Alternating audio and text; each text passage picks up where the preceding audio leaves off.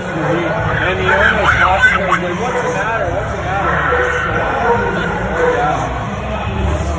yeah.